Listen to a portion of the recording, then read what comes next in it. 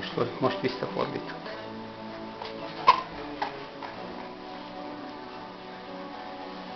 Most emeld meg az elejét.